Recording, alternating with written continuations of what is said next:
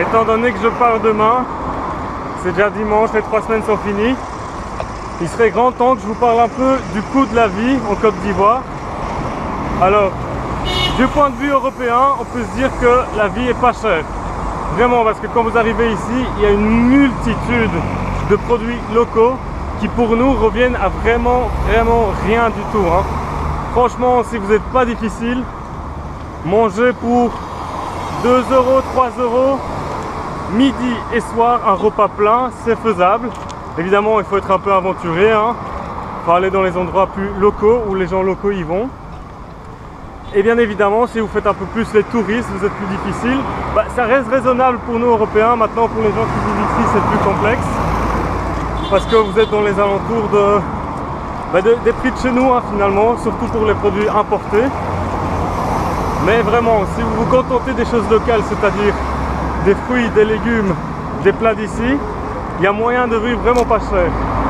Vraiment juste les choses qui sont importées, qui restent très très chères.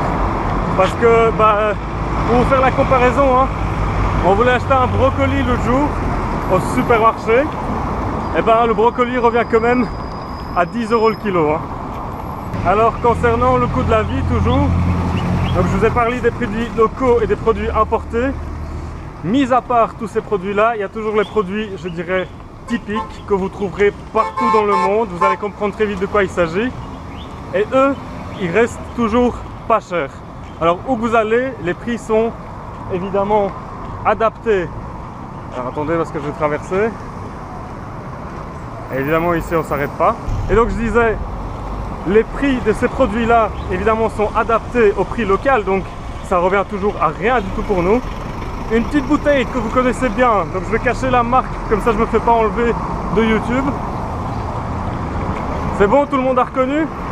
Et ben ce truc-là, un demi-litre, je ne me rappelle plus combien ça coûte chez nous, ben, ici c'est dans les environs de 70-80 cents. Comme quoi, hein, on se fait manipuler et les vrais dirigeants du monde, ce ne sont pas les politiciens, ce sont les grandes marques, les gars. Il y a un truc qui m'a fait blinder réfléchir ces derniers temps, c'est justement une phrase qu'on peut trouver sur une des bouteilles de la marque dont je viens montrer. Je vous la montre tout de suite. Moi, je vous ai parlé tout à l'heure du message que véhicule la bouteille d'une de ces fameuses marques. Je vais vous le lire maintenant. Alors, vous êtes prêts?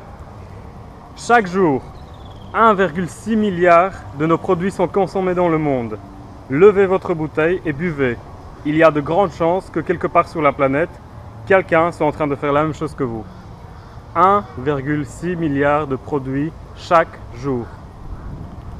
Alors, vous pensez que c'est les politiques qui contrôlent le monde? Moi, je suis pas si sûr que ça. hein.